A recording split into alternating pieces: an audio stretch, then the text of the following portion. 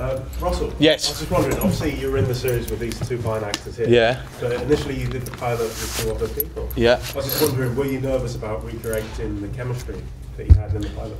Uh, yeah, it was a mixture. I was excited to come back, and I was sad they weren't coming back. Uh, so it felt like it was going to be a whole new beast because you went into the pilot feeling it was going to be something, and it wasn't. Yeah. Uh, and then at the read through, sat down with these guys. I was like, oh well, there, there we go. It's we've locked into something else, and you sort of know who your character is by the way that you instinctively work with other actors. And uh, I knew who my George was with Andrea and Guy, and then suddenly with these guys, I was like, that's who George is. So it just felt right, and it felt like the kind of perfect storm when we all came together in that first read through. Right? Yeah, Yeah, guys. he was Yeah. like our welcoming anchor. anchor. Wanker. anchor. Yeah. So season one of uh, Being Human is still one of the most popular shows on iPlayer. What do you think it was about your guys' tenure on the show that's been so lastingly like attractive to the fans? It's. I think it's always hard to, to pinpoint what makes the show work so well. I mean, I think the premise is is quite original and different, um, and the writing's just really really strong, mixed with you know half decent acting and and um, some good you know subplots and, and all the rest of it. And it shot so well. We had a good crew. We just ev- everything just gelled on our show. Everybody was happy off set. I mean, I've had um, I've worked on a few jobs since, and it's it's generally all pretty upbeat and great too. But you do have days. We just didn't have them on that set. You walk off and everyone's just in great form. And I think it just fed us with this nice energy and kept this this unit together and kept us strong. I guess that shows on on the on the show when you watch it now. Uh, We definitely felt it. I think it's the chemistry.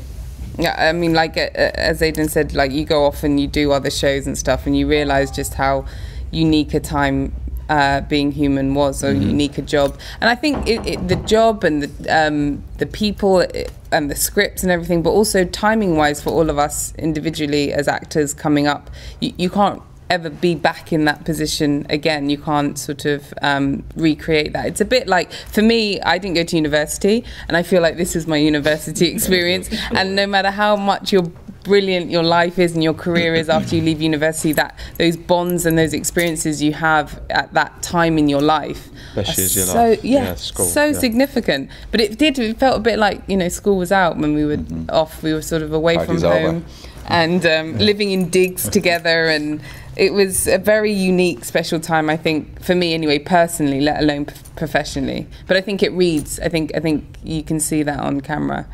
I feel like I think the show kind of exceeds what it its kind of parameters of being part of sci-fi and supernatural.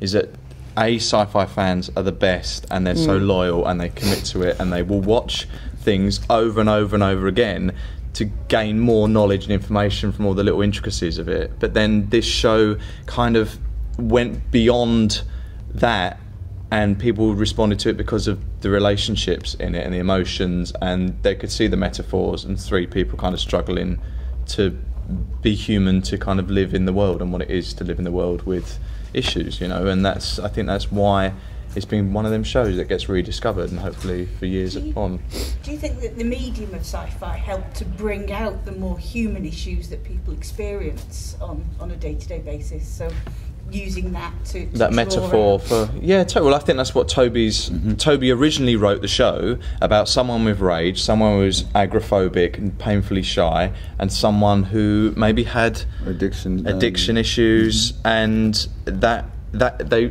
he couldn't access it and suddenly he was like put okay werewolf he first came to the werewolf and then the rest and the rest just fell into place and i think as soon as he got into that it came alive but it's rooted in true human kind of foibles That's the behaviours, you know. yeah What were the um, like most human like sides of the characters do you think that uh, your, your three characters have, and on the flip side, the most monstrous sides of them as well? That you know they're trying so hard to be human. I think what I mean the obvious things are trying to be human werewolf, trying to be human vampire, but you didn't seem to have any darkness in you. And when when Annie tried to kind of muster up her poltergeist abilities, it was mm. still always kind of half-hearted because she didn't mm. want to hurt anyone. Mm. So out of all the characters, Annie was definitely the nicest. She didn't change. She didn't have like a darkness she had to overcome. She was the innocent, really. She was, but I would say her, you know, the thing that she struggled with was being um, seen, and and I know I think it was probably more in season two where her her visibility was so sort of dependent on other people's approval, and then the whole thread, the story thread um, of she would disappear without these two.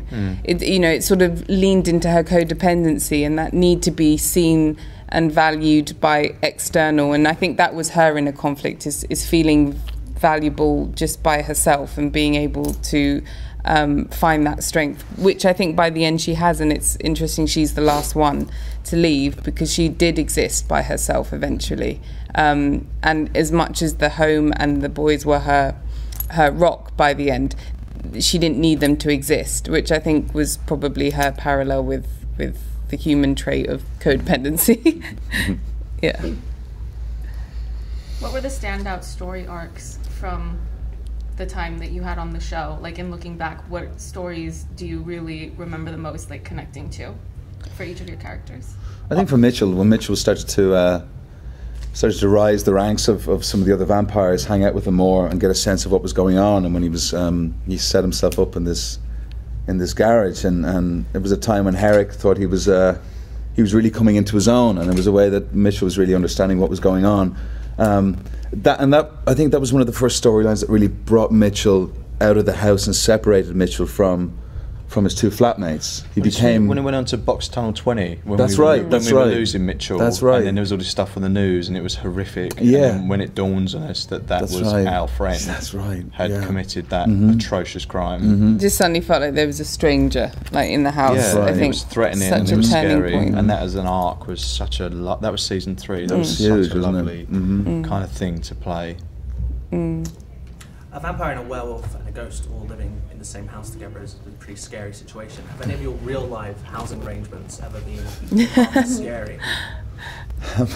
I- well, we, I mean, we didn't live together um, per se, but we lived I like don't think in it just little. means just us, Yeah. just yeah, generally but speaking in our general lives. speaking, but um, I, I've, I've not. I mean, I've been pretty lucky in that I've. I've, by yourself. I've lived by myself. um, I'm sure I've been kicked out and have kicked people out in the past. Um, I, I, I tend to live alone these days. yeah, yeah, Yeah. not too uh, Russell, any horrifying roommates? flatmates. I had a woman turn up and was on my couch when I woke up one morning a little while back. She was asleep and she stayed for two days, and I didn't know who she was. And she, a friend had a spare key, and I, apparently I've been told that I don't know, but she'd been let in, and she helped herself to all my food. I came back one day, there was cigarette butts in. The she'd been smoking doors, and she was asleep on my bed. Wow. And yeah, and she, and all she, all she was eating, yeah, she's like, she was Italian. She's like, I can't leave the house. I want to leave, but I feel high. I feel sick. I said, What have you eaten? She's eating Doritos. and she just ate Doritos, Doritos. And then she left one day. She Well, left your this- Doritos. She, she left. I, the few packet have gone now. Yeah. Gone. gone. But then she left like this pashmina behind with like frayed ends, and that was it. She's gone into the night. I don't know where she'd gone. I put it all on Twitter. Couch is girl the it was. best. Yeah. But that Oh was uh, God, that was just bizarre. brilliant. We just like she was very very odd Yeah. and appeared out of nowhere. But you know, we just wake up in the morning, you're like, what the? Who the? who No, are no one knows what that. That's literally quite a unique Yeah, it was experience. unique, yeah. You know when you wake up and there's a strange woman on your couch. No, that's no, not yeah. an everyday. Yeah, that's me. Never happened That to was me. me. Never happened to me either. How do you think you uh, developed as actors um, through the series? Better, hopefully. yeah. Hopefully, we got more. That to me was training. I mean, like certainly. I mean, eh, because the beautiful thing about being human is you're making people laugh, cry. There's adventure stuff. There's occasionally you have to try and do something that resembles an action sequence, and um, we, we got to play so much. It's not a straight comedy, and it certainly didn't feel like. And also the very domestic scenes, which I personally love, um, but keeping that kind of. Um, Naturalism. naturalism and also I, I think it was uh, again something I took for granted at the time a real character driven piece Yeah. like all the scenes were only uh, when you fall in love with um, characters I think they can take you anywhere um, and so I think for me being human was the first time I ever really got to really flesh out and live a character and kind of feel like I knew Annie mannerisms. I knew Annie how Annie would react to certain things, and um, and as an actor, you, particularly with TV, very rarely have time to invest in that, and then and then time to play it out. Um, so for me, I think being human grew me as an actor. Um, really did, I, I, I, and spoilt me a little bit. Yeah, I mean, me too. I mean, just showing up every day and, and, and living on, on the set. I mean, you can't not learn a bunch of really important lessons as an actor. You know, you're just you're there all the time. It's one of my first jobs, and, and just seeing, just having a clapperboard come up and just turning over a lot and putting a lot of hours down was just invaluable for me. You know, um, and gave me a lot of confidence. Really, Was it your first job? kind of one of the very first ones. Yeah, yeah, We made him. yeah. We like to we'll take credit for that. Yeah, well, maybe, maybe what? Vampire. So Aidan, Yeah. theatre background help at all in performance? Yeah, very much. I mean, I, I'd done maybe five or six years of, of just theatre um, prior to, to being human. Um, so this was kind of kind of the only experience I had on, on camera. But yeah, I mean, it's again invaluable being on being on stage, but but doesn't equate in the same way. You know, sitting down to with, with these guys and try and make a talking about whatever we would talk about and to make it as natural as possible. And, and it's not um it's not something you necessarily pick up in in. Uh, in drama school, you just you just have to be there and just connect and be aware and just just respond to the other actor and listen and that kind of thing. So they were um, yeah all those important lessons. Thank you. Uh, the show had a lot of uh, memorable guest stars uh, during its tenure. Um, you mentioned earlier you want to be Kirby. Uh, Gil. Oh, Kirby! Um, Thank you. So like characters like that really stick out. Were there Yeah. things like that you had that you just thought, I want you to come back more, or like you're really glad you got to explore those areas. Um, so many. I think. I think probably for me one of the loveliest things that kept coming back is that our guest stars enjoyed their experience on the show, and Well, they were fa- a lot of people were fans, Fans of, of the, the show, show, and yeah. then they were on it, and that's the best feeling. the best feeling to attract the cal- that kind of Yeah, caliber. totally. Um, Because I think And Robson Green was like That's the right. biggest, Oh, yeah. biggest fan of being human. He petitioned for himself to be in it, That's and then he was in it, amazing. and so he was like every day he was like, it's it, i mean it really uh, really touched us because i think we we feel so close to the show but but no one i don't even think even up to the producer level felt possessive over the show it felt like a real um, a, a thing that people were invited into and invited to feel part of. So um, all our guest stars, I think, brought so something so special, and I think all of us were very, which is again something in hindsight I can take for granted we were we kind of came to the show so young and sort of humble that we felt we were lucky to have them on our show. Yes. And so there was never that thing of you're on. There was an egos bolstering around, which made the no, whole we thing. It wasn't cliquey. it wasn't cliquey or or kind of. We felt particularly. We were like, who's playing this? Giddy. Who's playing this? Yeah. Oh my god! Oh my god! Really? Yeah, and so excited to have the fresh energy come in and welcome them in and learn from them. Like, I think that atmosphere is very rare. Um, particularly, I think as you get a bit older, people get it, it, it. You feel like if you go on to someone else's show, you're in someone else's house. It just didn't feel like that on Being Human. So I think all our guest stars would be more than welcome to come back, but really enjoyed their time. And and and I think again, a, a, a credit to Toby as he would be very careful with even our guest stars. No one just felt plonked in and plonked out. They had their own story that they could see through to the end, and um, for most of them, I think they were pretty happy with their.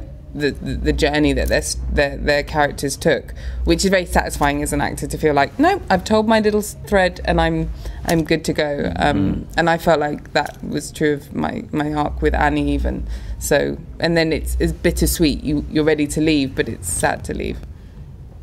Which of you was the catalyst for the most outtakes? By far, by I far. was constantly professional.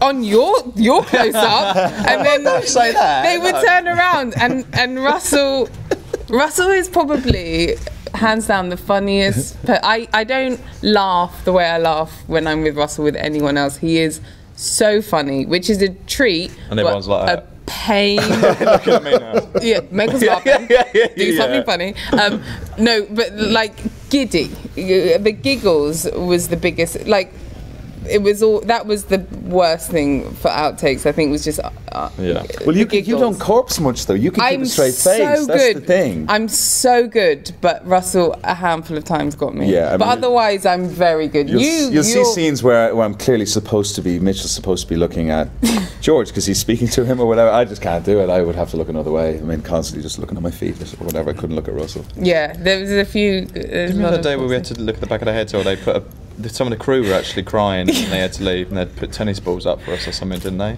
To look at. Well, there's this, look I remember the scene where I'm on Mitchell's lap pretending to be a dummy, yeah, yeah, yeah. and you and Nina walk in, you and Sinead We walk just like in, looking at each other. and we all have to have this standoff where we all look at each other awkward, and it just did not happen. I mean, hours were going past, and we couldn't get the scene because we just couldn't stop laughing, and to the point where everyone was laughing, Yeah. and it Lovely. just it just was It cost, impossible. cost the BBC a bit of money. Yeah. Was, uh, Sorry, my bad. Well, his bad. It was a Because it was your. I don't know what it was. Your. You were the catalyst of that. Ah, Yeah. the good old days. Yeah. oh, to laugh. Sorry, look. Has it made you have more of an attraction to genre media, like seeking out other fantasy, sci-fi acting jobs? Yeah, totally. I mean, just Yeah. for like the fan base. I mean, I said it earlier, but the fan base for just doing things like this all the time and sci-fi pe- fans and that supernatural level. There's a huge loyal group of people which are just incredible and loving. And everybody we've met today so far, we just sit there going like, everybody's so, So nice. nice. Yeah. Everybody's so nice and happy to be here. It's a very And supportive. happy medium, isn't Mm. it? That people really geek off about and embrace, and that's the nicest thing to be a part of that world. To always now have that, you know, because like we've done Doctor Who and Mm. things like that. That's like something that's going to be with you forever. And there will always be people that, you know, remember you for that, and that's great.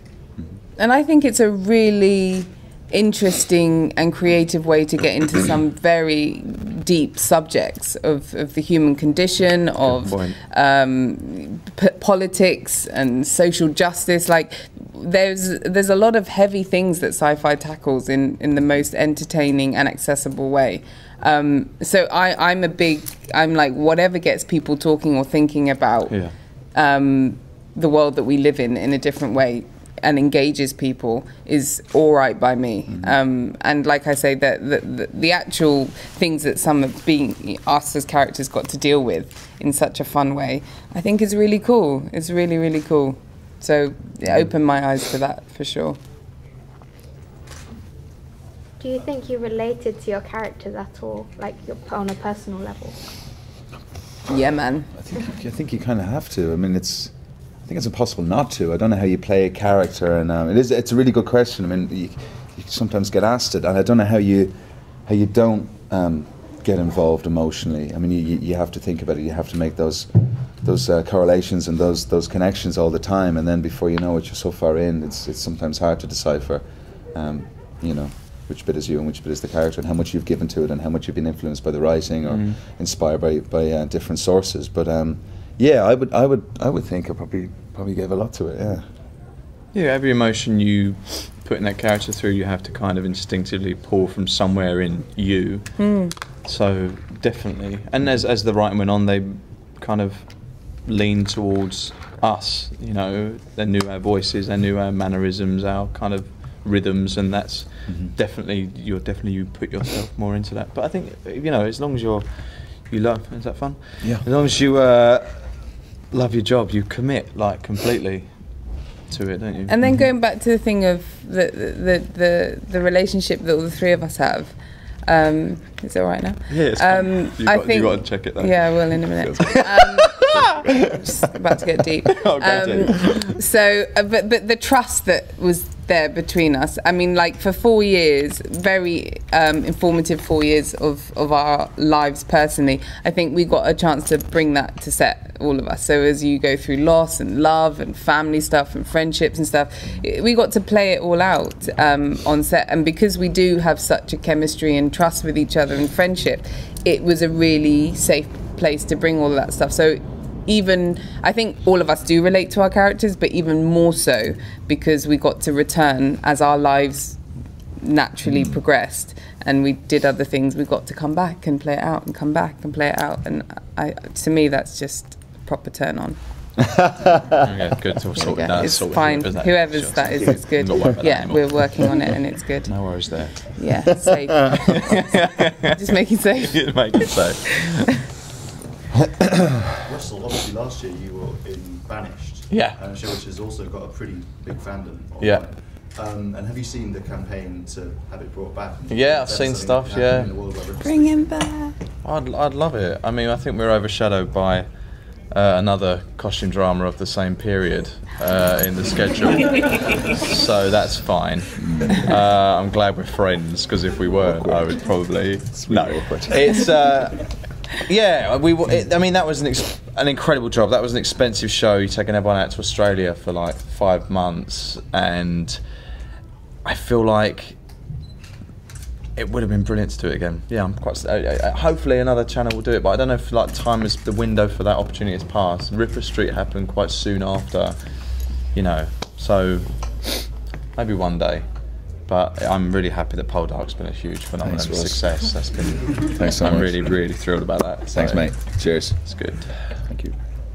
So speaking about Poldark, what can we expect in the next series? Um, what can you expect? Well, it, it, it, we pick it up exactly where we left off from the last year. So it's it's a time when uh, you know uh, Ross and and um, Demelza have just lost a child. His company is is, is down the pan. They're broke, um, and he's being arrested for. Um, uh, he looks like he's gone to prison. Uh, so it's it's a sad state of affairs to kick off the series. So, Fun start. Yeah. so it's, it's a cheery beginning. Um, yeah, there's just so much story in it, and all the characters have a massive arc in the next series. Um, I think we're, I think we're ten episodes next year. Have you got a Um, massive arc? Yeah, huge. Are you in it? that's what people say. Are you in it? I'm in all of them. Oh, well, all of the episodes. I made all of them. Thank you so He's much. done all right. I'm in all the deleted scenes, everything. Um, yeah, it's it's going to be huge this year. Yeah, I mean, it's um, it, it was it was big the first year, but with, with all the support and and um, and the fan base that we've accumulated, it's uh, it's it's going to be make a big one next for? year. Um, he's been. Uh, maybe, hmm, I don't know. Maybe I shouldn't say. Oh, all right. Spoiler one of alert. those. It's Oh, one of spoiler those. alert. Yeah, yeah. We should I hold back find it very different filming um, the period stuff as opposed to, say, the sci-fi being human. Um, I don't know. Difficult. I mean, it is very Different. different. Yeah, different. Oh, different. Sorry, this is difficult. Um, yeah, it's it's it's another world, quite quite literally, actually, for for um. Which do you prefer? characters, which is why I prefer. Um, they're so different. It's it's hard to it's hard to call it. Um, they're so very very. It's difficult, isn't it? Yeah. Yeah, it's Yeah. not easy. I But when it. we're sat right here, we Yeah. might have to make a decision. Yeah, it's um, it's it's a really hard call to. to Right. Yeah. Don't worry about it. You know. Yeah. I have a horse. I ride a horse in the other show, so I get to hang out with a horse all, All day. Okay. Horses are great. Just get a new question. you ever These are have any slipping. issues So. dealing with horses on set? Um, You love a horse, don't you? Oh, I love horses. Um, and then you just love no, a really, I love a horse. Saddle up and just ride away. There's nothing. There's not much to it really. He does love a horse. Not really. Uh, Yeah. No, they're good. They're well behaved. Are they? Yeah, yeah. They yeah. train them up good. They train them up good, and I'm a pretty decent jockey, so you know. Oh, is it? Yeah, yeah, totally. Did you ever do it? Did you give it a shot in Banished? Oh, you didn't have horses in Banished. We didn't know we had uh, Yeah, yeah. kangaroos. That's what I got It's, uh, they're tough. They're tough to ride, but you, You kind of hold on Yeah, to the yeah, There's a pouch, knack. you can Yeah. get your hand in there. That's right. so, Riding kangaroos. There's never going to be a second series, mate. yeah, no. Um, Do you have- oh, sorry. Oh, do you ever like binge watch your own shows? Ooh. Whoa. No, that would be too No. much for me. Whoa. No. Oh God, no. no. When's the last time you fought a sugar rush then? Oh gosh. Uh, You YouTubed it this morning. Yeah, that I have on loop. Um, it, has been a while. It's been a while. But I did not too long ago see um, Sarah Stewart and Olivia.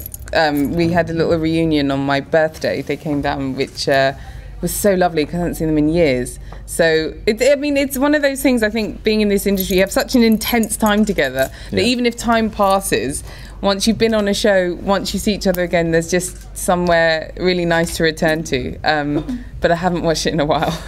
but someone came up with a picture today, and I was yeah. like, "Oh, Wow. weren't I pretty?" And I was like, I'm sort of reminiscing. It's funny. It's funny. Anyway, Uh, Russell, obviously, Yes. another big sci-fi show you were in, way back when was Doctor Who. Yeah. And for a while there were some rumours that you could even play the Doctor. Would any of you like to be in that show in the future, possibly as the main role? I, he'd do a very good job, wouldn't he? I mean, I would sign that petition. yeah, yeah. Yeah. I'd be all for that. I'd sign that petition. You could be my doctor. Mm-hmm. Oh. Who? Yeah. Russell Tovey. Yeah, he'd smash it. He'd kill, kill it. He'd kill it. They'd be very lucky to have him. Mhm. There we go. That's it. yeah, yeah, yeah. And Laura, this year you're going to be joining the, the cast of Suspects. Yes. Is that correct? Yes. Which I've heard improvises. Yes. A lot of it's dialogue. So Yes. Yeah. have you Right. prepared yourself for that, and how how would you rate your improv skills? Her improv skills are Gangster, a hundred percent. Um, off the She chart. does go into a different accent. Um, um, no, Suspect was was real trip to film. Um, I've been in the states, and it was my first job back here, and it was just so important for my little acting soul because it was suddenly back to basics. Um, no hair and makeup. Practically, um, basically a couple of minutes, Just and contouring, then just it. yeah, a massive lighting effect, um, Your own. filter. Yeah, got it. Um, but it was like back to basics, strip, strip back everything. We had a, a two camera people that shoot documentaries, long lensy. We had a couple of takes of each scene, if that. Two days an episode as opposed to two weeks, and just acting. It was just thinking on your feet, being really engaged. You have to know your facts and. Not been on Is yet. there a script? When's it on? There's a script, but it's loose. Um, it's ended this year. It's coming on. They don't End have of it this yet. year? Mm, towards the end. Have you got a copy? Can we watch it? Yeah, we can watch it. Okay, yes. great. Um, but it and I and I have seen it, and I thought it was fantastic. I What mean, about just yourself? Do you rate yourself? yeah, I was really good in it. and you're tuned improv in. in, good. Yeah. Very impressed. To be honest with you, watching it now, I'm like, like I, I learned a lot. You have to really learn on your feet. Damien's in it, um, who became um, part of the team of Being Human, Damien Molony, and he's been on Suspects from the off um, as as Claire as as well. And those two are brilliant at it. And as much as I think I feel confident with the improv stuff, it's a whole new beast filming that fast and just knowing how much you can bring to it and where those little um, details will fall in the edit and stuff like that. I mean, I, if I did it again, I think I could do a much better job. But I, you really have to sort of learn on your feet. It was so fast. Um, the whole thing was done in a couple of weeks, and so I learned a lot. And, and watching it back, I do see where there's room for improvement for sure. But it, I loved it. I thought it was such a cool experience, um, and I think it does give the show something very, very unique. So I'm excited to have that come out. Okay. Thanks so much, guys. Thank you, everyone. Thanks. It's lovely to meet you all.